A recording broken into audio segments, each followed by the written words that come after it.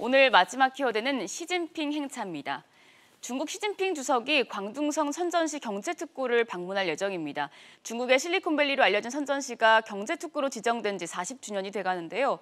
미중 무역 분쟁이 격화되고 있는 지금 시 주석의 선전 방문에는 어떤 의미가 있을까요? 예, 내일 그러니까 10월 14일은 중국 경제에서 상당히 의미가 있는 날입니다. 지금으로부터 40년 전이죠.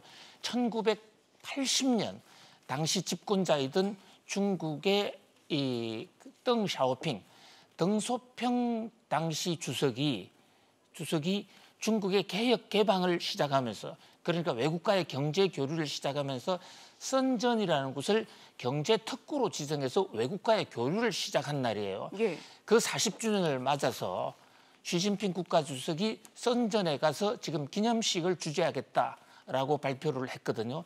선전이라는 곳은 중국의 최남단에 있는 곳이에요.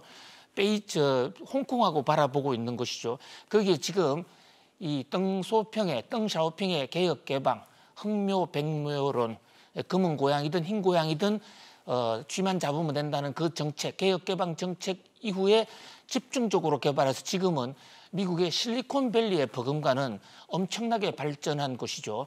거기에 참석해서 40주년 기념사를 한다 이러는데 예. 거기는 또 미중 무역 전쟁의 한 핵심으로 돼 있는 화웨이, 화웨이의 본거지이기도 합니다.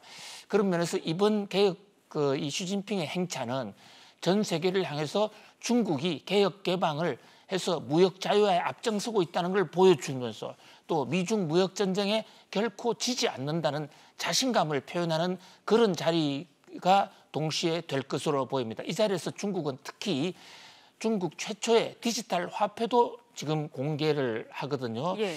아무튼 이 시진핑의 이 행보, 선전 행차 행차는 또 한 번 앞으로의 중국 경제를 어떻게 끌고 가겠다 하는 중국 공산당과 시진핑의 어떤 정책 방향이 담겨 있을 것으로도 보입니다.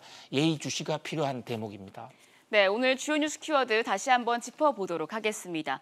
돌아온 애플, 대통령의 선거운동, 24번째 대책, 상속 포기, 시진핑 행차까지 알아봤습니다.